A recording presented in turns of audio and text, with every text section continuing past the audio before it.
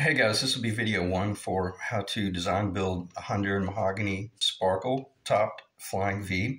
And uh, this guitar is, this guitar, I just sold it and I'm, and I'm about to ship it here momentarily, but I wanted to take advantage of the fact that it was still in my possession so that I could do this brief video and show you what I'm about to build. Now, this guitar uh, was in a pretty uh, detailed series where I showed you exactly how you could uh, use uh, older aged woods and uh, assemble them and what you could achieve by doing doing so. Now I've got the control cover. I think it's yeah. I, I shot one more coat of lacquer on it this morning, so I'm letting this dry. With this control cover, you know, obviously we'll we'll go right here, but I've still got a little bit of finished work to do on that to get it ready, and I'm literally uh, in the midnight hour here getting that prepped. So but long story short, uh, the guitar I'll be building is going to be identical to this. And I say the guitar, I'm actually going to be building two. But uh, the guitar that I will be building, the two guitars that I will be building will be uh, both Honduran mahogany. One will be a hollow body uh, per jazz guitar specs. And we'll cover this stuff later on, but I've built uh, quite a few jazz guitars and uh, I'm fairly confident in that, especially the big body stuff. But nonetheless, uh, we'll be building it um, fairly close to identical to this, uh, but I'll be offering different pickup configurations and uh, different sparkle tops as well. And then uh, I do like this three control layout. That's going to be standard, so I don't really want to deviate from that because it's it, this is very much a complementary guitar of the 50s era Korina uh, specs, you know, with the softer shoulder, with the flatter shoulders, although mine is definitely very much different from that. It's a little bit more, uh, a little bit more modernized, but nonetheless. Uh, one thing I do want to cover, make sure that this gets gets picked up in the camera. This is a design that I came up with so that you could plug the uh, guitar cord in, the, the patch cord in, I mean the uh, the cable in like this, and then put it beneath your strap, and it makes for a much cleaner guitar if you're a performer and you're going into a wireless system. I've never seen anyone do this on a Flying V, but uh, I'll show you how that's done, and uh, it's just so so efficient, and uh, it is what it is. Let me let me lay that down briefly. But nonetheless, I'm not going to go into any details, excuse me, about this guitar and how how I went about building it. If you want to see how this one was built, just check out that video series, how to design build a Flying V, and I went into fairly mind-numbing detail about uh, the whole build process and uh, what it took to, to pull this off. A great little project. This guitar sounds absolutely insane. It's just so amazing how articulate it is. It has a, a 1800s uh, antique pine cap on top of a poplar body. And uh, poplar is a phenomenal wood for a very centered uh, mid range. But uh, we'll cover that stuff later on. But nonetheless, with this control cavity, the way I've designed this, you're able to do uh, any configuration you want. We'll, you know, let your let your mind run with that one. But in these this location right here, you're able to come in, obviously, that being your three way, you can pick up uh, basically three more locations to do uh, uh, DP-DT switching, either kill switching, or you could do one DP-DT that controls both pups, or you could do two DPDTs and, and, and, and, and you know, and treat them separately. Uh, one of the flying V's that I built a couple of years ago was stereo. It was insane. It went to Texas, but uh, really cool design and turned out really well. But in other words, with the stereo option, that allows you to come. This control cavity gives you the room to do more uh, electronics work. So, all right. So, what do I need to briefly cover here so I can end this video within just five or ten minutes? Uh, the main thing I will be doing is uh, let me look at my point list and I'll just I'll just read it off. Uh, I'm going to build one uh, gold sparkle, okay? And the gold sparkle flying V is most like it, the body's already roughed out. It's on. It's in the other side of the shop. but it's going to be a, a hollow body basically, and it will have parallel bracing. And I most likely will treat it like a treble braced guitar, like the uh, 60s, uh, 50s, and 60s uh, Gretsch big hollow bodies, like the Brian Setzer guitar that he, he, he played. And uh, so that's going to be the gold one. And it's going to receive a, a USA B5 Bigsby across a, a Tone Pros uh, TPR6, you know, the, the roller, um, uh, Tone Pros bridge. It's like the, the Tune-o-matic with, with roller saddles. And uh, it will receive just a bone nut and or a tusk nut. All the tusk, although the tusk nut on the, this guitar was a little bit too bright on the last V, I might tone it down and go brass. Brass is a is a more dynamic uh, uh, nut. And the specs will be 100 lower, uh, that one will most likely have a Honduran cap, but it may have the uh, 1800s antique pine uh, cap, which will be more along the lines of a jazz guitar. It will receive a rosewood fretboard, uh, a Honduran mahogany neck. I'm sorry, that one will receive a maple neck, uh, basically like a custom built maple neck that I build these necks as well. And it'll have a 17 degree pitch headstock. And it'll very, very likely have the um, um, Sperzel tuners, which I love. It's excellent. I've run the Sperzels on all of my big body jazz guitars, all of my small body jazz guitars, and with just phenomenal success. So, uh, obviously, this guitar being far more modern, uh, uh, it is what it is. But uh, that that the gold sparkle will be more along the lines of kind of more a complementary of like the Gretsch esque designs. Okay. And then the other one that I build will be, uh, I mentioned the, the the gold one will have parallel bracing. You, you could do X bracing in there, but it's kind of unnecessary in this design. You're not really, it's not a concert style, you know, classical and or acoustic or and, and or big body jazz guitar. So the parallel bracing is very very safe and very predictable as far as tone. But the Crimson guitar that I'm going to be building uh, it will uh, be a solid Honduran mahogany lower. Well, the, the, the, whole guitar will be solid Honduran mahogany. Uh, I may build it like a, a, a, 50s Les Paul or like a Les Paul where it has a Honduran mahogany cap as well. And then that would allow me to do internal routing. But I don't think so. Odds are it's just going to be a solid Honduran mahogany body and then I'll route accordingly. So, because I do not do uh, a, um, top routing. I love the fact of the really beautiful, simple. Uh, well, you've already seen it, but I love the fact of the really beautiful, clean um, work here and not loading it up with uh, pick guards because you know we want to see the sparkle. And by putting the, the output jack here, that even gives you more uh, more real estate here to admire and to flash around on stage if you're a performer. So anyway, uh, all that will be done in the back. And to get back on point about the, the Crimson guitar, it, uh, let me cover it very quickly again. It'll be a hundred solid Honduran mahogany body with the Delmar. Uh, this this drum rack is from the uh, '60s. I bought this from the estate of a of a of an old school musician that had a ton of old '50s and '60s Fender guitars, Gibson, you name it. He had a whole bunch of like old old bridges and uh, he had a bunch of Delmar drum wrap. I bought every bit of it, and uh, so I was fortunate to to find that. So this this Delmar is probably from the '60s or '70s. Uh, not really certain. This may be a little bit newer. It has a little bit smoother surface, but they are the same thickness. They're they're fairly thick. So back to the back to the crimson one, solid Honduran mahogany body, and guess what it'll have? It'll have a solid Honduran mahogany neck with a 17 degree pitch headstock with my headstock profile, which is basically 5% scaled down from the Korina, um, the traditional 50s Flying V.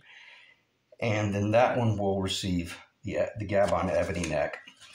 Uh, I have a bunch of Gabon Ebony, but odds are it'll probably just come from Stewart-MacDonald and it will, uh, it'll look just like this. Uh, you really can't justify buying this wood raw and then machining it you know, doing all this stuff. Uh, this, these, these end up being around 70 bucks, which is an extremely fair deal.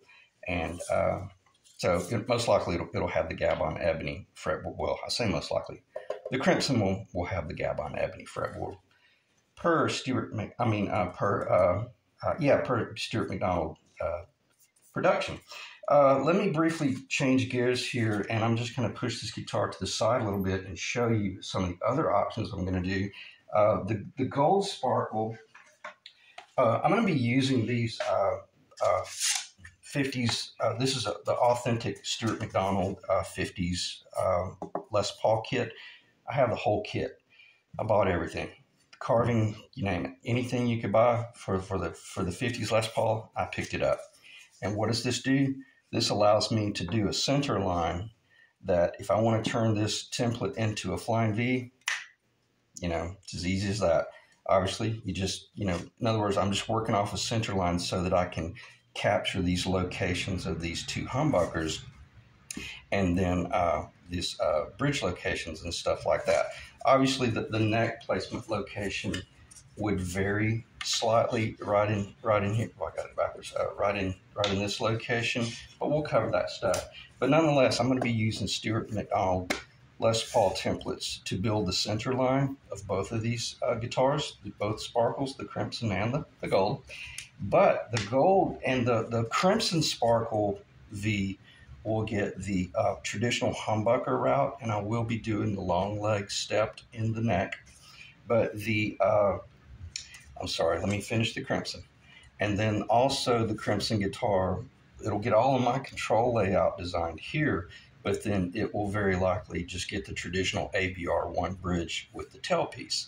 I'll, I'll cover that later on. I don't really care for the through body design, but I may do that if someone requests that, uh, uh, uh, you know, when they, when they decide to consider purchasing it. Uh, but the, the gold one, the gold one is most likely going to get the P90. Oh, I got that upside down. The gold one will most likely get the P90 bridge because this is a specific Stewart-MacDonald template, obviously, to transition from. Let me let me slow down. I'll show you something that's really cool if you're considering doing this. Uh, if you want to build this guitar to capture the 55, 56, 50, uh, I, I, got I'm just, you know, do your research. I'm not sure which year that uh, the custom Les Paul uh, did the all Honduran mahogany body, the Honduran cap, the Honduran lower, but they went with uh, a staple and a P90. But where I'm going is with this Stewart-MacDonald template here, let me just show you. I'm able to line this hole, these two tailpiece location holes here with these two tailpiece lo location holes here. If I can do it. Where is it? Sorry. Okay. Okay. And then that will guarantee that when I build the gold sparkle, uh, uh, it won't have the tailpiece, but it'll have the ABR1 bridge or the, the Tone Pros roller bridge with the P90s. Okay. Or Filtertrons. Now, this is not the Filtertron route, but I'll make that decision. In other words, the gold sparkle guitar is not going to have the PAFs, it will have the P90s okay? Uh, be it, again, more along the lines of the Gretsch Esquire. So with those two templates, it's not just a Les Paul. I can build anything I want. So uh, let me uh, look at my notes here briefly. Uh, I'm going to be using, this is the Honduran Mahogany, and I need, I need to end this video here fairly soon because I got to get this thing boxed up and shipped. But I'm going to show you the Honduran Mahogany. This is the, uh, uh, I'm going to be able to get three necks out of this. One of the necks will be for a 55 uh, Les Paul replica that I'm building right now. In the other series, which you guys are probably aware of, uh, one of the necks will the, the, one of one of the necks that comes out of this billet uh, will go to the uh, 54 uh, 55 Honduran mahogany and and the the neck that does come out of it for that guitar will be the most choice location as far as quartersawn. But I'm going to let you hear a little bit about tap tone. I'm going to, this is a node.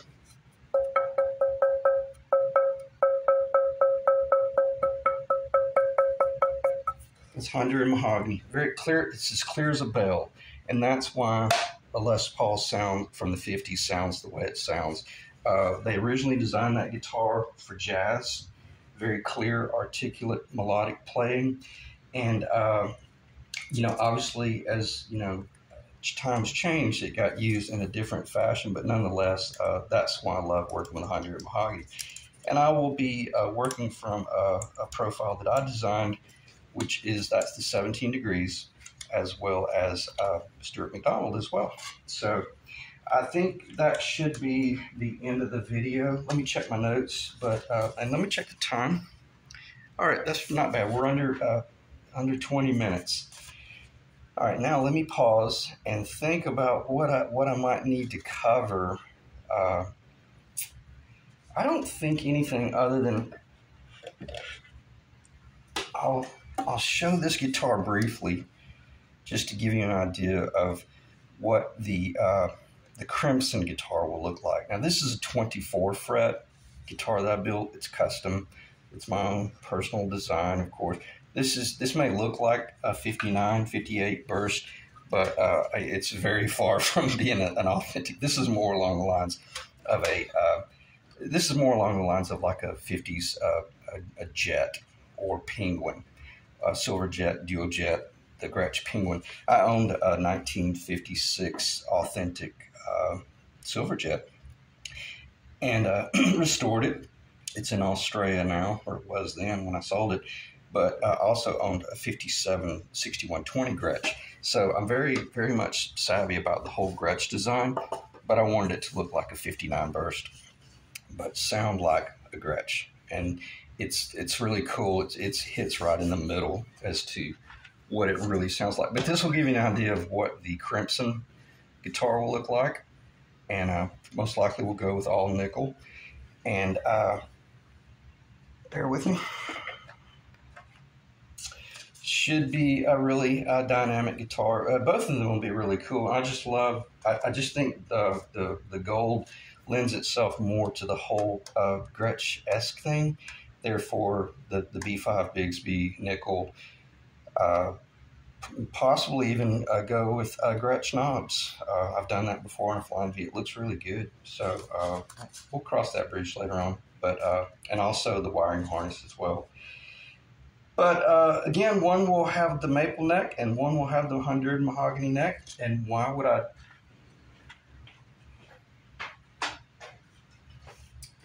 Why would I do a maple neck uh, with rosewood?